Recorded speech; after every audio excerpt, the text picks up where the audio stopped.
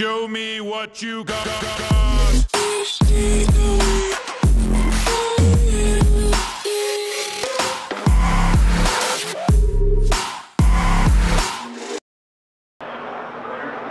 How's it going, guys and geeks? Welcome back to the Geekritique Show. We just came back from the BBC America Doctor Who panel with Peter Capaldi. And it was awesome.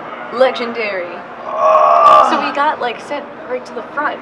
And we didn't we didn't expect that. These babies. These press passes babies. really went far for us. The, the guy actually said no to us at the gate uh-huh. like because we, we went had to go on the normal way. We did we weren't invited as press. because we yeah we weren't invited specifically because we were press, but because we did have these passes, he's just like no no no, press go in through the other side. So we thought we weren't going to get a seat because we thought we had to be invited, but no, we got right at the front and we got footage of a lot of the panel. Yeah. Which is awesome. I, I, I filmed up until the part where the audience questions came in, and then I filmed the last question as well as his departure. So stay tuned for that in full 4K glory. Yay! It's so exciting, but it's so emotional at the same time. Because Yeah, no, there were a couple of parts where I got a little teary eyed, I'm gonna be honest. When the standing ovation occurred at the end, I, I teared up. Yeah, because we were there when he got announced as the doctor, and we went Yeah. to that panel. So I was like, "Oh, a new doctor! Like, what's this all about?" And you know, it, it's just been a really. And we cool- were there for the, the one last year with Yeah. Pearl Mackie, and we've seen Peter Capaldi rise and fall, Not fall. rise and go to bed. so yeah, it's it's really awesome. Um, he he really is just a fantastic person and a really creative thinker and a really intelligent person. So I can't wait to see what he's going to do next. He says that he's going to be doing a movie next, actually, Yeah. and he's looking forward to spending more time with his family. That's really exciting for him. Yeah. for obvious reasons. Um, he, he does elaborate on the fact that Doctor Who is such an exhausting experience, Mm-hmm. in and out, day day and night.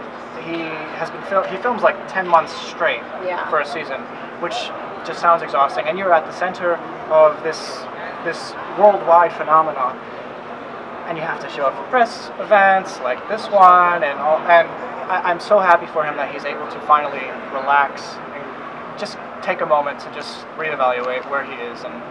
And uh, what he wants to do. Yeah, wants to do yeah, good for him. Yeah. So I'm I'm really happy that we had that experience today because that was awesome.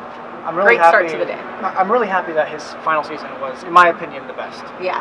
I think he really, really hit his stride.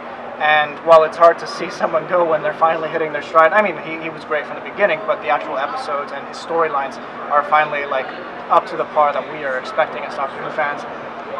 It's hard to see him go, but we're we're looking forward to seeing what happens with the future of the Doctor. But we love to watch him walk away. I love to watch him regenerate. We, there was a good discussion about his hair. That was wonderful. How it keeps growing and growing and growing. Um, Yep. Originally they wanted to cut it, uh, and they did cut it for the first season.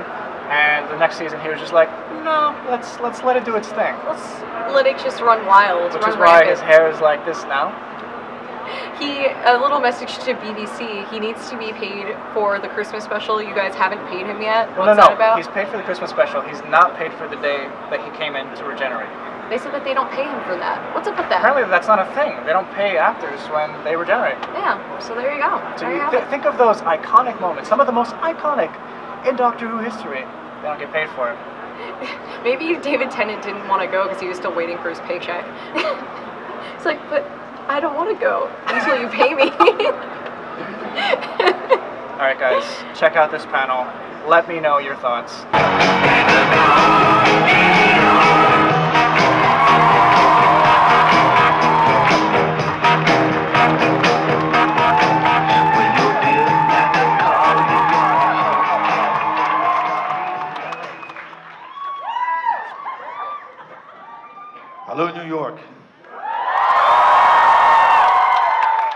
To see you. I can't.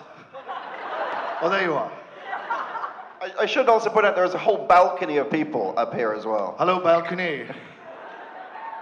Cheaper seats. Peter, thank you so much for joining us today. My pleasure. Um, I was mentioning this backstage, but I had the pleasure of interviewing you in London when you were filming the uh, fir- your first season as Doctor Who, and in some ways, because of various things I won't go into, uh, that seems like a hundred years ago. Uh, but in other ways, it just seems like three minutes ago. And I was wondering, I mean, if, if Doctor Who teaches us anything, uh, it's that time is a strange thing. Does it, see, how, how, does it seem like three minutes ago for you that you began this? Yeah, I don't know where the time went. Time ran away with me, you know, literally. It, uh, it just seems like a moment ago that uh, we started, but it's so intense and it fills up your life that you don't have a second that's not about Doctor Who, which is a nice way to live, but it, uh, it does take over, yeah. And um, maybe we could take you back to, I mean, obviously you were a, a lifelong fan of Doctor Who. Um, what was your first day like on set? Uh, well, I had two first days. I had the first day, uh, which was the regeneration, uh, which was with Matt, um, who was absolutely lovely. Uh, and, I, and, I, couldn't, wished, couldn't have wished for a, a, kinder or more welcoming entrance into the, into the world of Doctor Who. Matt really sort of looked after me on, on that day, uh, which was so kind of him. Uh, but then I didn't do anything for like four months. Uh, uh, I was Doctor Who, but we, we weren't. Did they pay you during that period, or, or, They don't even pay you for the. They didn't pay me for the regeneration day. This is true. They said we don't do that. I've never been paid for that day's work. That's absolutely true. As a British person familiar with, with what we call Auntie, which is the BBC, I, I entirely believe that. It's absolutely true. so, uh, so it was months and months and months and months of, not, of, of being Doctor Who, but not being Doctor Who, and just wanted to get on with it. And then finally, uh, you begin. Uh, and it was uh, in Deep Breath, and it was my first scene in Deep Breath, and it was coming out of the TARDIS on, on the uh, by the, on, on, the Thames embankment, which had been recreated beautifully uh, on this soundstage at Cardiff. Uh, and I was just really, really nervous, and, uh, and, I had to get into the TARDIS for the first time and come out of it as if it was mine. I remember stepping into it and looking over and seeing Steven um, Moffat looking at me. He was nervous too. He was sitting at a monitor, but he gave me a little wave, and I gave him a little wave. Then I got into the, the, the TARDIS, and it was me and Jenna and a bloke with a smoke machine. and I got me a cigarette. and he was a, a, a props guy, and uh, we just got on there. And what was your uh, did you what was your approach to playing the Doctor before you started, and, and, and, and did you feel that, I mean, did that approach change as, as you continued? Um, no, I just sort of thought uh, that the thing to do here is to try, try and uh, bring it to myself. Uh, I not have a lot of uh, stuff going on between who I am and, and, and who the doctor is, uh, and uh, just to tell the stories. so really I was guided by the script and trying to do the script way that was effective. I can remember uh, talking to you um, when you were shooting the first season, and I said, were there any monsters that you wanted to, vintage monsters that you wanted to bring back? And you said uh, you'd like to see the Mondasian Cyberman. And then I interviewed Steven Moffat, who, uh, was a much gruffer Scot than you, even gentler than you rather. And, uh, and he said that was a stupid idea and that was never going to happen, and they just looked like people with pullovers over their faces. Now, was he just winding me up, or did he have a change of heart with, with regards to that? I think that just shows you how generous he is. he probably does hate the first original Mondasian side of that, but because I liked them, I think he, he, he tried to make them work for himself. I think did, did so very successfully. And uh, it was interesting because, like several doctors, your, your doctor was a little um, confused in the first couple of, of episodes, the, the Ben Wheatley directed episodes. But I was, was there a moment for you when you felt that you kind of gotten a handle on, on the role? Uh, no, I still don't feel particularly uh, I got a handle on it because it, it, changes all the time. I mean, I think the, the, the, the, episode where I thought I felt it sort of coming together uh, most clearly was, was Listen because uh, the Doctor was more, uh, had, had more of a, an internal dialogue that we saw, he was more obsessive, and he was more, he, he was madder. You know, I always thought that it, it was good that he, he, would, he would find an idea and really run with that idea, and nothing would get in his way in, in pursuit of this idea, and that really all first happened with uh, Listen. So um, that's sort of uh, where it began to expand more into I, I, don't, I don't really know quite how they do this, whether or not they have a pile of scripts lying around that they intend for a doctor, whoever that might be, uh, and you just pick it up and get on with it. They might change it a little bit to suit you. Um, uh, uh, so I think you sort of enter it without them really knowing what you're going to do with it. You know, you don't really do anything with it, you just sort of try and be it. So they don't really know what that is until they see you do it. And then you, you mentioned Jenna Coleman. By the time you joined the show, uh, I mean, even though she's much younger, than, a couple of years younger than you, let's say, um, she was the old hand on the show, and you were kind of the, the newbie. What, what was that relationship like?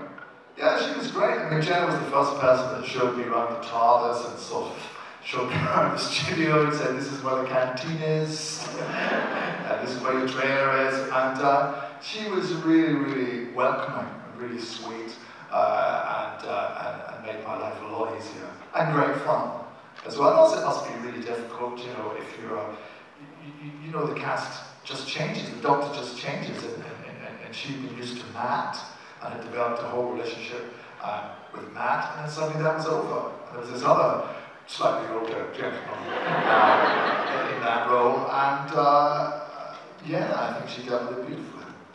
And you, uh, I think some of the most beloved episodes were directed by Rachel. Rachel, yeah. and now I'm wondering how. Rachel Talalay. Rachel She's, I've, I've spoken to her, she's an absolute delight. She's fantastic. Um, and what was that working relationship like?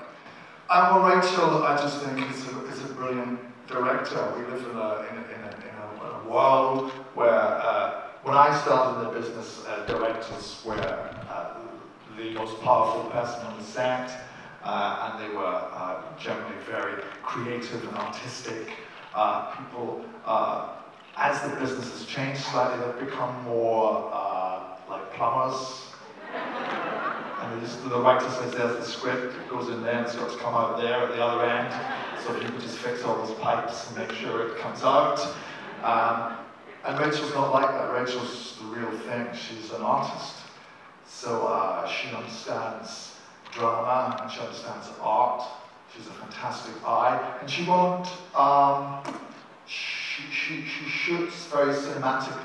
She won't just shoot a scene with uh, coverage, which is what a lot of directors do. They just do a white shot, a couple of close-ups, and sort of that's it. She comes to everything uh, with an idea, with a visual idea, which is an expression of the drama of the scene. Uh, and that's being a director. That's the real thing.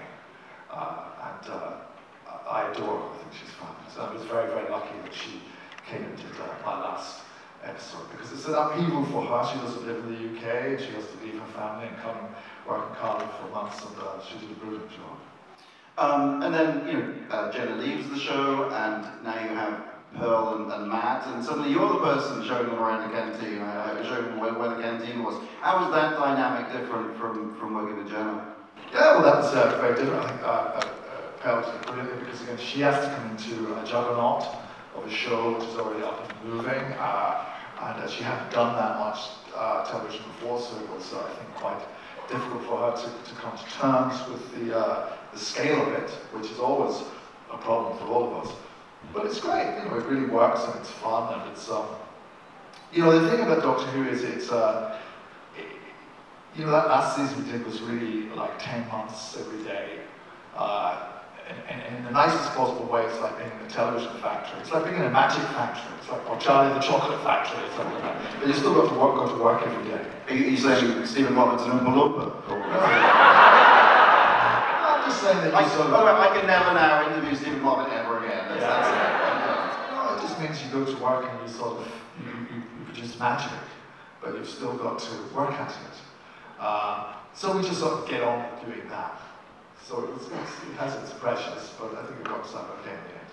Uh, and you do, as you referenced before, have one more episode, the, the special Christmas episode. Yeah. Uh, I'm not going to, you know, try to get you to spoil anything, but maybe you could just set, you know, tease the episode a little for us. Uh, well, yeah. well, uh, my doctor is, uh, is, is refusing to regenerate. Uh, he's just not having it. He's fed up with it. Uh, uh, he doesn't want to turn somebody else, whether or not that be a very, um, someone as talented as Jodie Whittaker.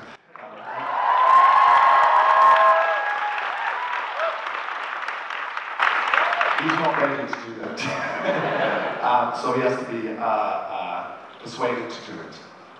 And the person that, that becomes involved in that persuasion is uh, the first doctor, uh, William Hartnell, who, who, who is here, but he's played rather brilliantly by David Bradley.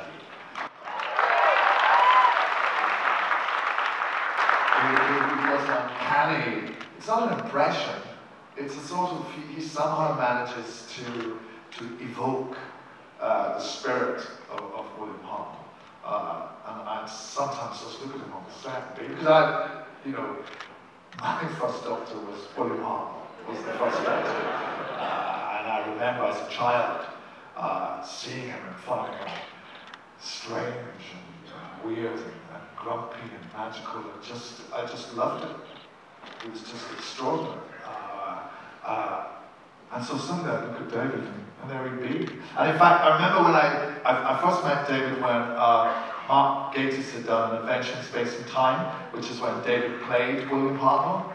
Uh, and Mark invited me down to the set to meet, this was before I was uh, Doctor Who. Uh, he invited me down to knew I was a fan and to see the little, TARDIS there and everything. Uh, I, I, I, got to meet David, got my photo taken. I remember emailing uh, Mark and saying, uh, thanks very much for letting uh, a, young man meet Doctor Who. Which is what it was, was that, that it was like me meeting Doctor Who, so it was very exciting. So it was great to work with him on, this, on the set. And why did you decide that it was, it was time for you to, to depart the show?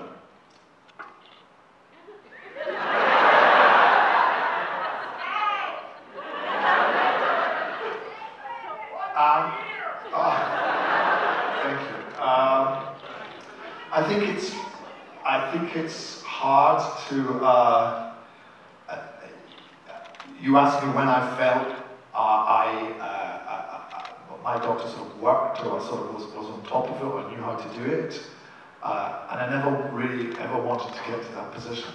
I never wanted to get to a place where I knew how to do this because that's not what being creative is you know, you, you should be constantly challenged and constantly um, working uh, to, to, to, not knowing how to do what it is you're trying to do. Uh, and the actual amount of time we were spending on the show, uh, uh I realized that I was getting the hang of it and that I would get, probably get a bit tired. I don't mean I'd reached this stage, but I was frightened that I would get tired and just begin to say, I've got the hang of it, this is how you do it. Uh, and that's not a place that I, I want to be. So that's why I decided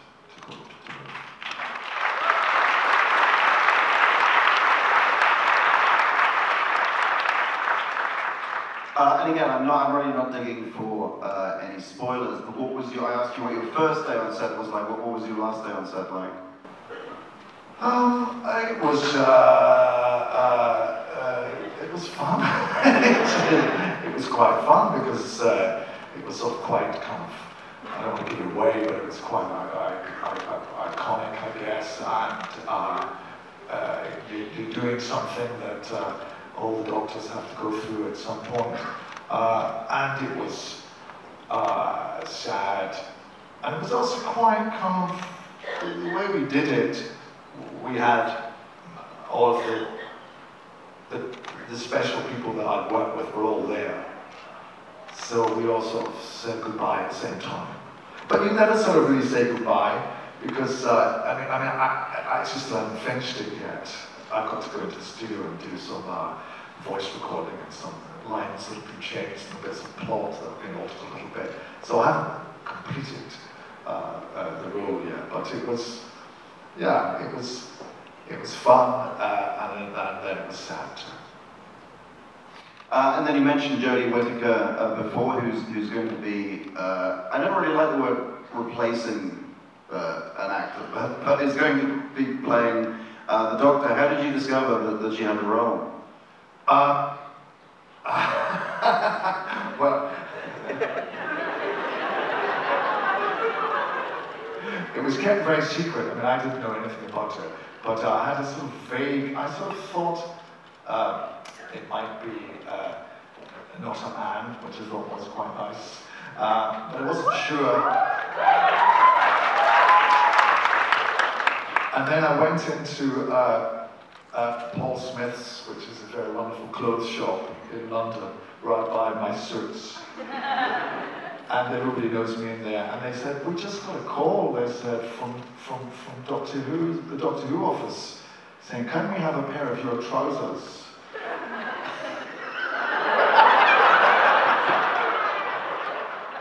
But with a waist size 30. And I thought, I don't, I'm finished, I don't need any more trousers. Because Doctor Who wears Paul Smith trousers for the fashionistas. Not really. Uh, so they were obviously looking for a pair of trousers for uh, the new Doctor Who to wear. And I thought, well, that can't really be a, a man. With a 30 inch waist. Uh, uh, and so I thought, oh, that must be an alien. Uh, and, uh, and no, they just called me uh, uh, a couple of days later. Uh, before it was announced and stuff like that. And ironically, and then, and I called Jodie, who was amazing. It was lovely to talk to her. And she just lives up the road from me. And I haven't actually, I haven't met her, so I didn't really know her. But she said we've sat in the same cafes and coffee bars over the last three months. And she said, I haven't been able to come and say hello to you. Because that would have to be, the reason I would come to say hello to you would be to say, uh, I'm, I'm the new doctor here. But um, she's amazing, and uh, uh, uh, I saw what she's done, it's great. So I think it's, it's in really good hands.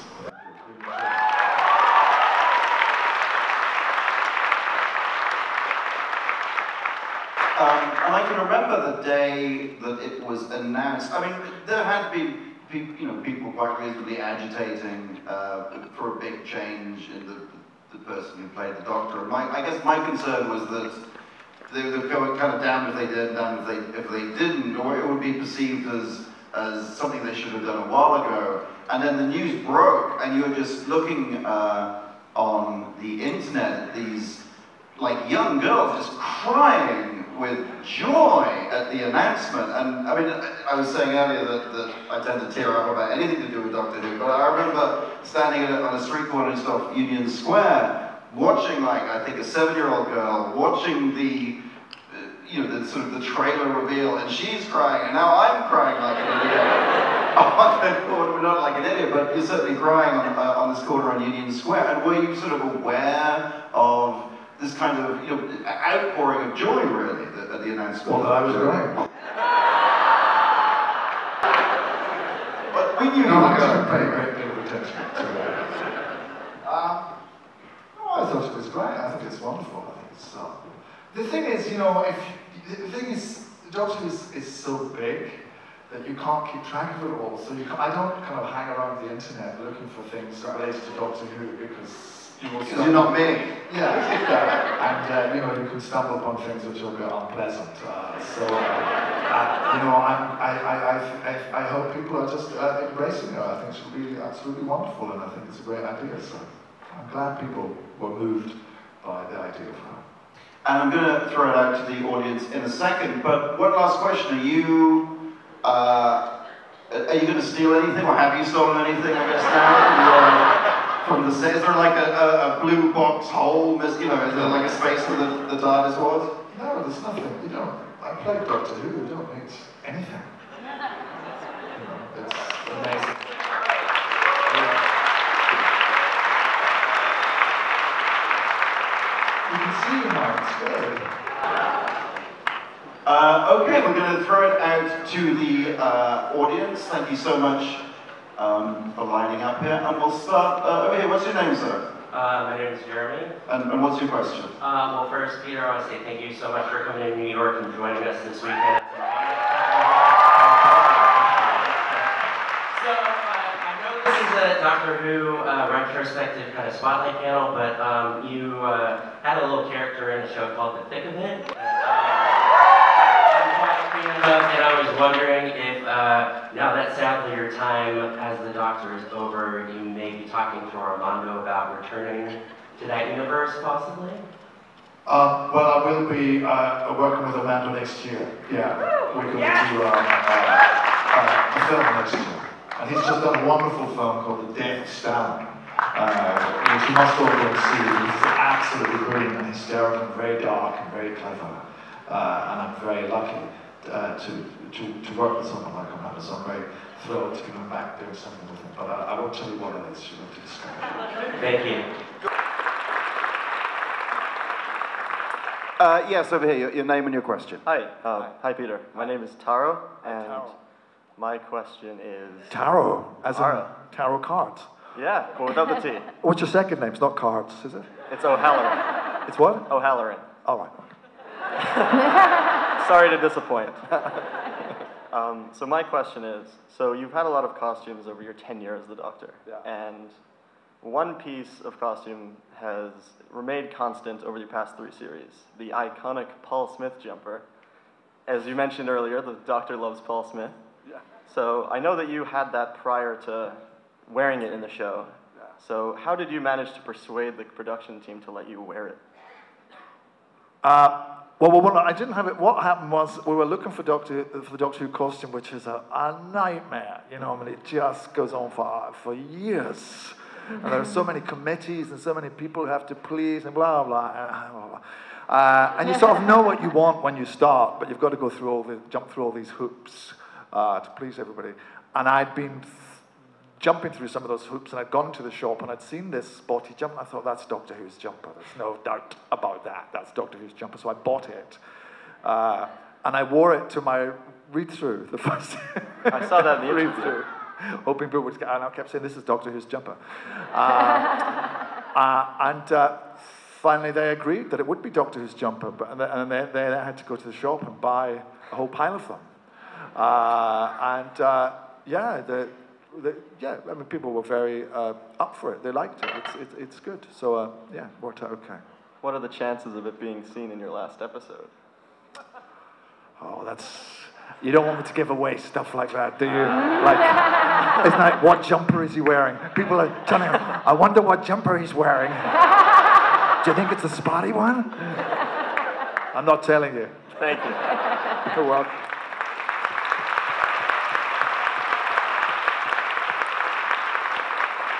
Well, I'm afraid we're, we're, we're coming close to the end now, but before um, I properly say goodbye to, to Peter, uh, we're going to play a little video, which I think is going to sum up uh, what a lot of us feel uh, uh, about Mr. Capaldi.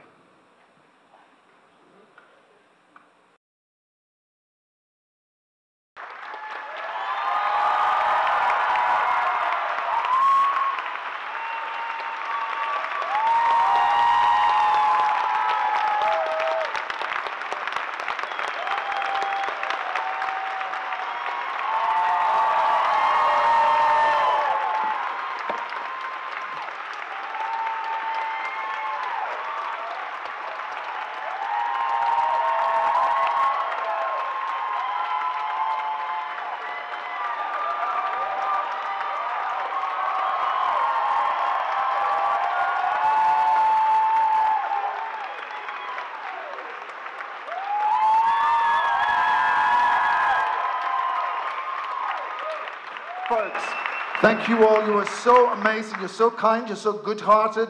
You're the future. And uh, Jodie Whittaker is so lucky. And so are you. And this, the uh, enthusiasm and kindness and generosity is the best thing about the human race. That's what you are. Thank you. Ladies and gentlemen, Mr. Peter Capaldi.